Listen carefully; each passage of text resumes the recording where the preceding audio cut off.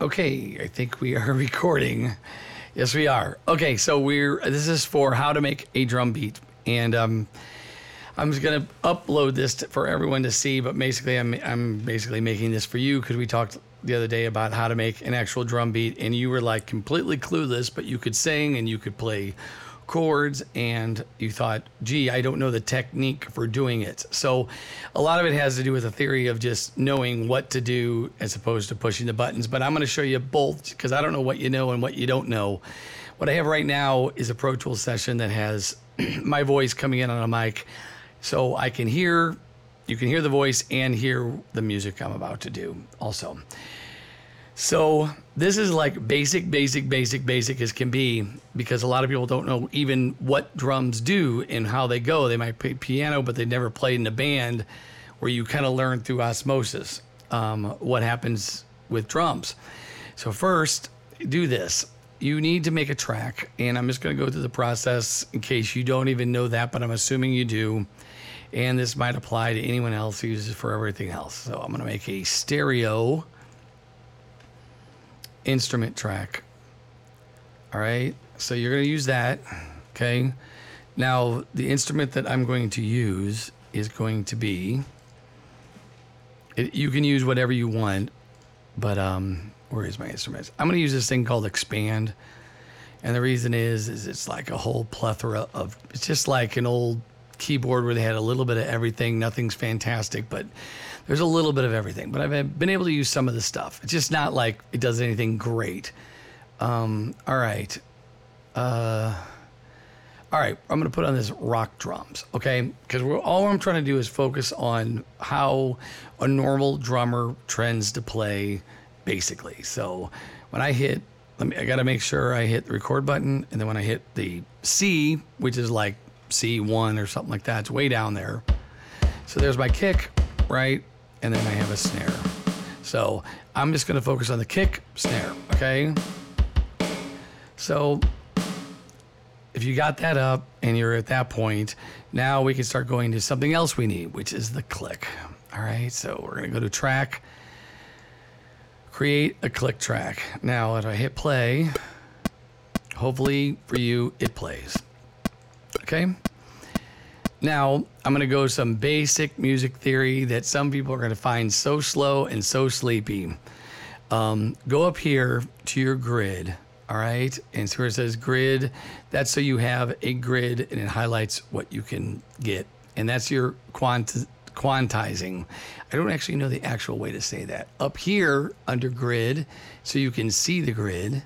Okay. Now, this is what I was talking about. Like, you, you do want it to be a bar. This is when we move notes around, but we're going to start with the basics. So, we're going to start with eighth notes. So, what what is an eighth note? Okay, if you don't know this, I'm going to start from the very beginning. A whole, generally, there's this thing called a time signature. All right, and that's when they say one bar, it's because in sheet music, they use this line that goes up and down to show you where the bar is. So this slang is kind of, or this mus- this musical term has gone to like one bar. Now in most music, if you want to start out, it's easiest to say, let's just do, they call 4 4 time. And the reason you do that is because it has four, just basic. I'm not trying to get into deep theory for you and confuse you, but it's four beats per measure. So you got one, two, three, four. So if I play this click, it's, so you hear it one, two, three, four, one, two, three, four, one. Okay. Now it's looping. When you when you highlight this and you go like this, you you got a loop. Um, in the old days, the sequence. In the old days, we just played music, and you'd make verses and choruses, and then you'd play the music. And every verse and chorus was a little bit different because every time you strum your guitar or played the piano or they played brass or whatever they did, it would just naturally be different. And then they thought, well, gee, we'll make this. We'll just repeat the verse of the chorus when we use drum machines, which are overly accurate um, and not human at that time, like Linn drums and things like that long story short, they started making loops because they thought if you went boom, bop, boom, boom, bop, and you just said, I'll just do that eight times, that was okay. Personally, I remember organic music. I like to almost make each I like each measure and each thing to be slightly different. But for now, to get you started, this is basics of a drum beat. So first we have to learn what the heck is a measure, right? So here's a measure and we're gonna say four, four time. Now understand this could be three, four time, which would be one, two, three, one, two, three. And then you can get like eight, 13 and all this crazy stuff you don't need to know because most music is in four, four time that you hear to get started for beginners. I just don't want a bunch of people saying there's so much music and that's the wrong thing. It just is. So four beats, okay? Just needed to know there's four beats, all right? So we got four beats. Now, a whole note, if you don't know this because you got to learn my lingo, is the whole measure. That's why they call it. But a whole note has four beats, all right? now, a half note, so when I go up here into my grid and I say there's a half note, it is half the measure. So it's really one, two, one, two. So if it was a note, it'd be like bam, or bam, bam. Does that make sense? Or it'd be boom, boom, boom, boom. All right. So let's go to a quarter note real quick. And here's a quarter note. One, boom, boom, boom. So generally the click, when they set up clicks, it's going to be on the quarter note. It's a quarter of the measure.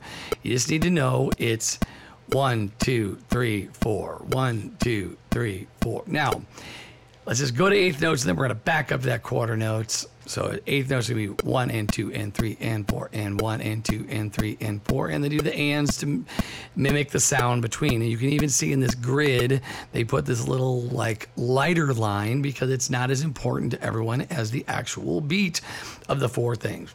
Now, there's some other terms that we use, like the downbeat. The downbeat means this beat right there. So if you wanted to put a kick drum on the downbeat, you'd go bump, bump.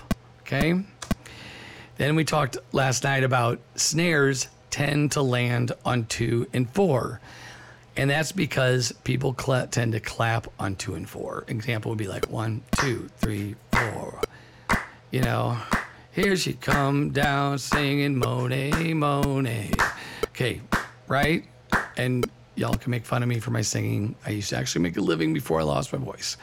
So then um, kicks tend tend to be at least on the one. If it's a one measure beat, but because some asshole is going to get on there and go, not all the time, then if you had a two measure beat kind of a rhythm, then you might have bump, boom, boom, boom, boom, boom, boom, boom, boom, boom, boom, boom, boom, boom. So you you you ended up missing this one. All right. so first thing I want to do when I do this is we'll just separate this into a few different tracks. How about we'll make like three more tracks just so we can play around. All right. And we'll call this kick, snare, cymbals, other. Now, I will just tell you when I actually sequence when I don't I don't do it this way. I actually just want to get in the groove. I want to loop this and then I'm going to separate like I, I make all the tracks on one track and then I loop it. And when I get everything done because it's just so much faster, then I go through and I separate the kick from the snare, from the cymbals, maybe the crashes, maybe the toms, maybe percussion, and then I print it, which means I turn it into audio tracks. Because once I really have it, I don't want it in MIDI. And the reason you don't want that is because you're going to come back 10 years from now and that MIDI instrument will not exist. And that's the problem. Or it just doesn't work properly, or they upgraded it, it's not compatible with your system, or some correct like that. But audio is audio is audio, and it'll always kind of work. All right. so, as I taught you, so we're going to start with some real basic drum beats as exercises. And I want you to make these and then you will start learning a little bit. So first we're going to, hopefully I'm going to have a loop. So I'm hitting record. Uh, do you want all of them recording? Okay. And I'm going to go two, two. I'm going to hit this on the snare, right? One, two, three, four. One, all right, so I messed up. So what you also have to do, so let me talk about some systems that you have to set up. Is it option one? No, it's zero one. I'm sorry, I still don't have it. Is it command one? Yeah. So command one, we used to call it Apple, and you got your transport. This thing right here, That's so you got to have this on. So the, the turn this one off, by the way. Your 120 beats per minute. Here's your click. Here's your overdub. Um, here's the other thing I wanted you to do. This is not how I normally do it, but I want you to do it as you're learning. This is the quantize stuff. All right. So under events, under event operations, I want you to go to the input quantize just for learning. Disclaimer. All right. And let's set this to eighth notes for now. Okay. So all music tends to have like a, it tends to have a highest resolution of notes. You'll find sometimes you have to change it, but never is it quarter notes. It tends to be either eighth notes or sixteenth notes that you're going to quantize at, or you're going to you're going to hit the tuplet button because you're going to do some swing. Just tends to. So we're just going to work with eighth notes right now because we're doing very basic stuff. All right. So to make this drum beat, this quantize thing will round it off. If I'm like, if you watch, if I'm actually play this note, I can't show you right here. It's going to decide if it wants to put it there or there. That's how quantizing works. But let's go ahead. I'm hitting record, which is number three. Okay, and then we're going to hit this snare on the two and the four. Okay, one, two, three,